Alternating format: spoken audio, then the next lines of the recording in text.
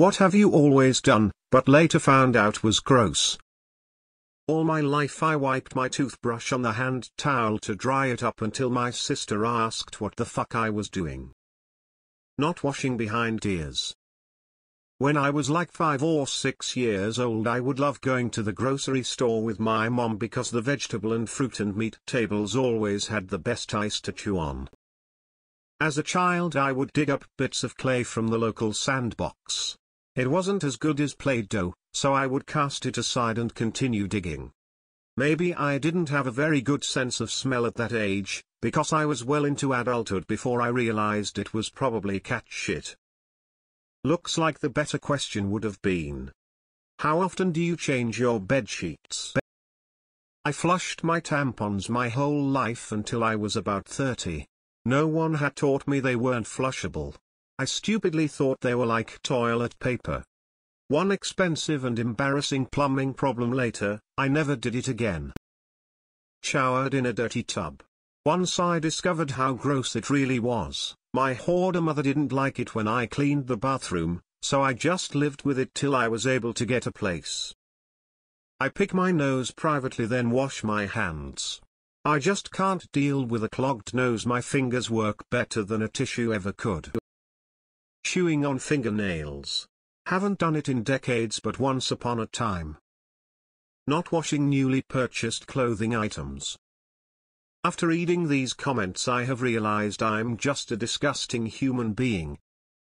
Wait until a towel smelled weird to swap it out. I use my earring to scrape out the muck from under my nails then put the earring back in my ear.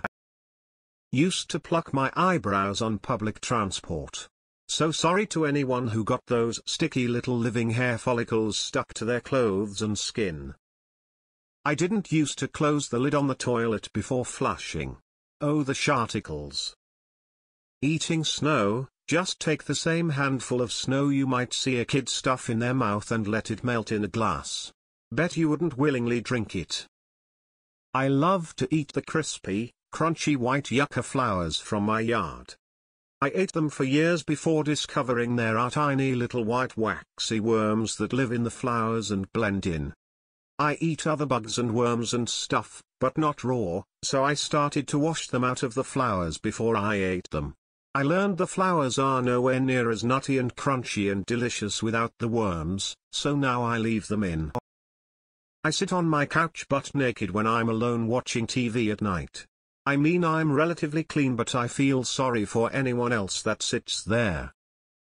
I'm suffering from hair loss at the moment and I'm often absent-mindedly raking a hand through my long hair, glancing at what comes out and then dropping the strands on the floor. Just read on another sub that that's pretty disgusting to other people. I my own defense, I work exclusively from home in my own small office and would never do it in public, but even so maybe my husband thinks I'm gross. I was taught to wash my sheets once a month. Realized you're supposed to do it way more. Put eggshells back in the carton. Didn't know it was gross because I saw my mother always do it. I can't believe it took my until last year to realize the error of my ways. Damn redditors are gross. Left dishes out in my room. Until I got freaked out at seeing ants everywhere, then I always put away dishes after finishing. That meme where they guy's scrubbing his crack with the bar of soap. I did that until a girlfriend caught me in my late twenties.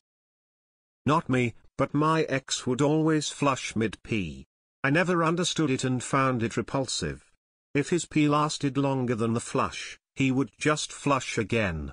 Whenever I would ask why he does that, he just said he's always done it. All I could think of is how much stuff would fly up on his hands and genitals. Even after showing him countless studies about what flies up when a toilet flushes, he would never stop that weird habit. I'm surprised to not see this here wearing shoes inside. My family was not a shoes-off family and they always wore outside shoes inside. I remember a few friends' homes were strict shoes-off homes, but I thought that was the minority. I was about 27 years old before I realized it was disgusting and people were definitely judging my etiquette. I am 66 year and only learned a week ago that you are supposed to floss first then brush your teeth. I saw something on Reddit about this. I asked my family three adult kids husband. They all knew to floss first, brush second. Why didn't anyone tell me? They just thought what I did was weird but never mentioned it.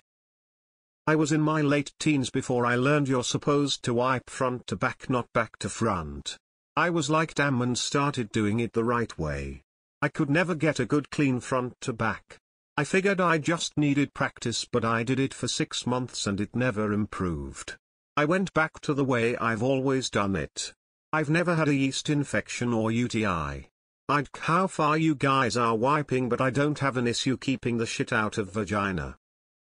I used to take shits, would wipe for a bit, but if it was taking too long I would just stuff a wad of TP in my butt crack and deal with it later.